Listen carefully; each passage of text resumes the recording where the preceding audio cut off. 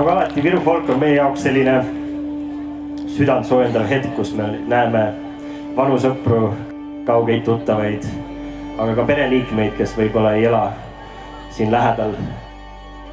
ja võimaldab meil saada kokku, öelda tere, rääkida südamest ja nautida seda väga-väga vaheldusrikast ja mõnusat muusikat siin äärmiselt toredas keskkonnas.